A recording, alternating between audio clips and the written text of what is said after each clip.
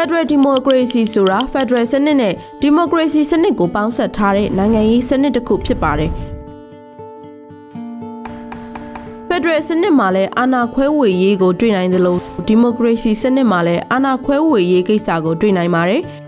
။သို့တော်လည်းအာဏာခွဲဝေရေးဟာဖက်ဒရယ်စနစ်နဲ့ဒီမိုကရေစီစနစ်မှာပုံစံမတူကြပါဘူး။ ဖက်ဒရယ်စနစ်မှာတွေ့ရတဲ့အာဏာခွဲဝေရေးဆိုတာကတော့ power sharing ကိုပြောတာဖြစ်ပါတယ်။ဒီမိုကရေစီစနစ်မှာတွေ့ရတဲ့အာဏာခွဲဝေရေးကတော့ separation of power ကိုခေါ်တာဖြစ်ပါတယ်။ Federal စနစ်မှာတွေ့ရတဲ့အာဏာခွဲဝေရေးဆိုတာဗဟိုအစိုးရနဲ့ပြည်내အစိုးရအကြားအာဏာခွဲဝေသတ်မှတ်ရေးကိုဆိုလိုတာဖြစ်ပါတယ်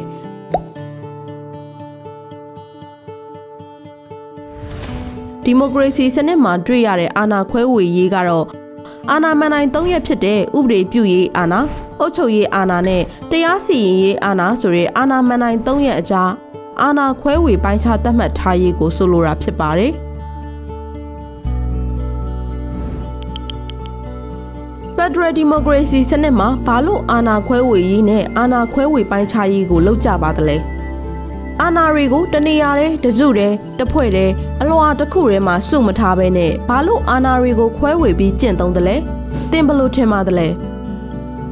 တကယ်တော့အာဏာတွေကိုတနေရာတဲ့မှန်တိုင်းတစ်ခုထဲမှာစုစည်းမထားဘဲနဲ့ခွဲဝေပိုင်းခြားရခြင်းအကြောင်းရှိပါတယ်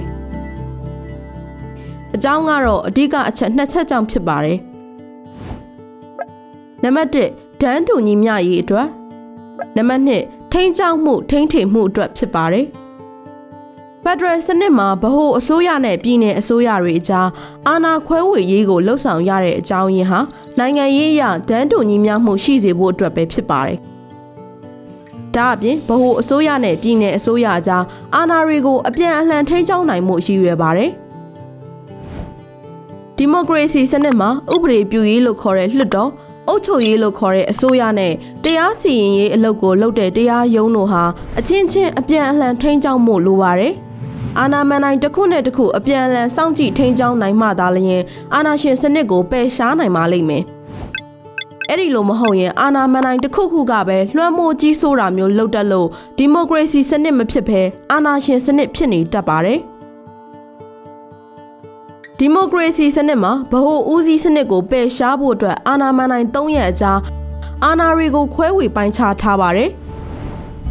အာဏာခွဲဝေပိုင်းခြားမှုပြည်ပြင်းလေးလေးဒီမိုကရေစီစနစ်မှာအစိုးရကိုပြည်သူကထိန်းချုပ်မှုပုံမလွဲကူလေးလေးဖြစ်ပါတယ်။ဒီမိုကရေစီစနစ်မှာအာဏာမန်နိုင်၃ရက်အကြာအာဏာပိုင်းခြားခွဲဝေမှုမပြတ်သားပဲရောထွေးနေထိန်းချုပ်မှုအားကောင်းတဲ့အုပ်ချုပ်စီမံမှုစနစ်မဖြစ်တတ်ပါ။ဖက်ဒရယ်စနစ်မှာဗဟိုအစိုးရနဲ့ပြည်내အစိုးရကြားအာဏာခွဲဝေမှုတွေဟာတန်းတူညီမျှမှုရှိမှသာစစ်မှန်တဲ့ဖက်ဒရယ်စနစ်ကိုရရှိမှာဖြစ်ပါတယ်။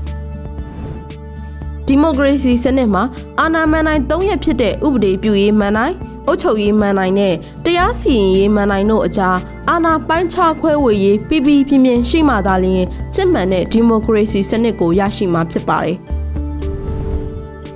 နိုင်ငံရေးတန်းတူညီမျှမှုနဲ့အာဏာထိန်းချုပ်မှုစနစ်ဟာ Federal Democracy စနစ်မှာထင်ရှားစွာတွေ့ရပါတယ်။